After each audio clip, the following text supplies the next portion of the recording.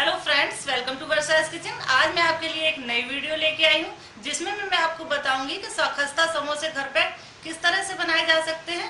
अगर आपको मेरी वीडियो अच्छी लगे तो इसे लाइक और शेयर ज़रूर करें और हमारे चैनल को सब्सक्राइब करना ना भूलें।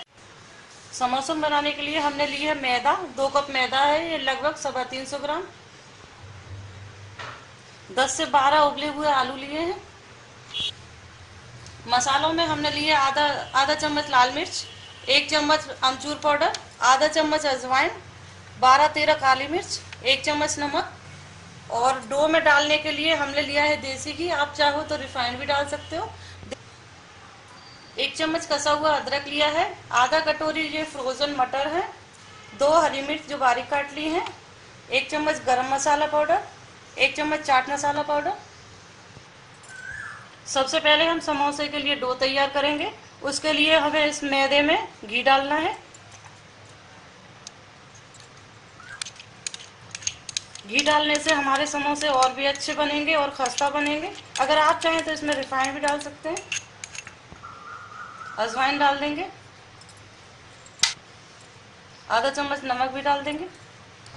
अब हम इसको अच्छे से मिक्स कर लेंगे।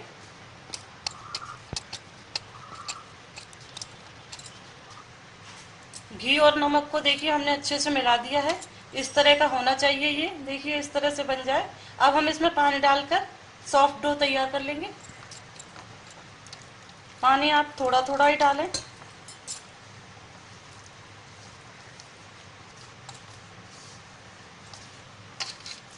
देखिए, इस तरह का डो हमें तैयार कर लेना है और इसे हम 15 मिनट के लिए रेस्ट करने के लिए छोड़ देते हैं। जब तक हम अपनी समोसे की फिलिंग तैयार करेंगे।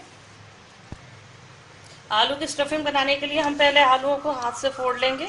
ना हमें ज़्यादा महीन करना है, ना ही ज़्यादा मोटा करना है।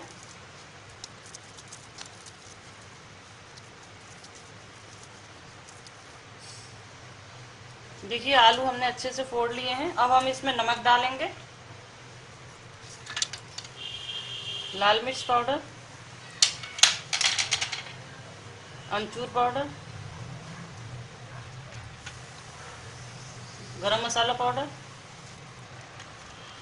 चाट मसाला पाउडर, सबको अच्छे से मिक्स कर लेंगे। इन्हें हमने अच्छे से मिक्स कर लिया है। अब हम पैन गरम करते हैं गैस पर, उसमें थोड़ा सा ऑयल डालेंगे, जिसमें हम आलू को फ्राई करेंगे। स्टफिंग के लिए हम तेल गरम कर लेते हैं गैस ऑन कर लेंगे। दो चम्मच ऑयल डालेंगे इसमें। तेल में हम साबुत काली मिर्च डाल देंगे।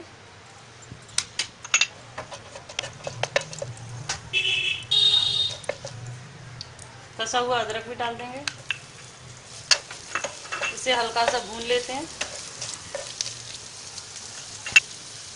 हरी मिर्च भी डाल देंगे। हरी मिर्च आप अपने टेस्ट के अकॉर्डिंग डाल सकते हैं, कम या ज़्यादा। फ्रोजन मटर भी डाल देते हैं।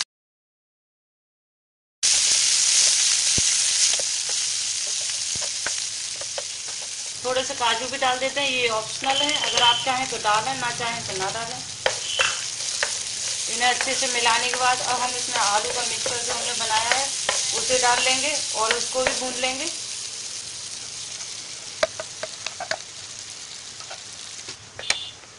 आलू को हम एक मिनट तक अच्छे से भून लेंगे, फिर इसे प्लेट पर निकाल लेंगे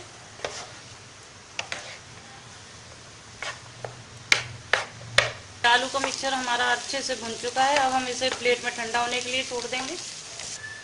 और इसमें हम धनिया भी डाल देंगे और इसे अच्छे से मिक्स कर लेंगे। ये समोसे की स्टफिंग हमारी रेडी है। समोसे की स्टफिंग हमारी तैयार है। और हम समोसे के लिए कवर तैयार करेंगे। ब्रेड वाले समोसे, उसके लिए पूरी बेल लेते हैं। पूरी को हमें पतला बेलना है।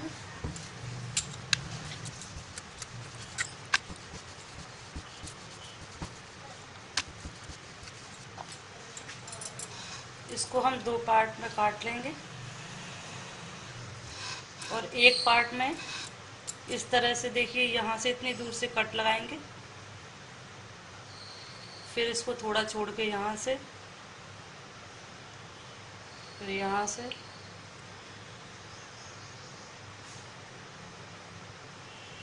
देखिए, ये हमने कट लगा लिए हैं। अब इस आधे पार्ट को उठा के इसके ऊपर रखेंगे। और इसको भी बेल लेंगे, जिससे आपस में चिपक जाए। अगर आपके समोसे चिपके नहीं तो आप थोड़ा सा पानी लगा सकते हैं। देखिए लेयर हमारी चिपक चुकी है।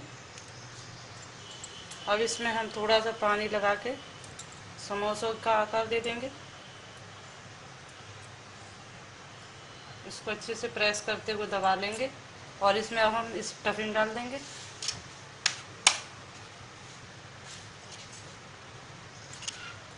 इसमें भी पानी लगा के इसको बंद कर देंगे। देखिए लेयर्ड वाले समोसे हमारे तैयार हैं। इसी तरह से हम बाकी के समोसे तैयार कर लेंगे और फ्राई कर लेंगे। इन्हें हम फ्राई करने के लिए डाल देते हैं कढ़ाई में। और इसे गोल्डन ब्राउन होने तक मीडियम फ्लेम पे फ्राई करेंगे। देखिए, समोसे हमारे कलर चेंज होने लगे हैं। इन्हें हम पलट पलट कर गोल्डन ब्राउन होने तक फ्राई करेंगे।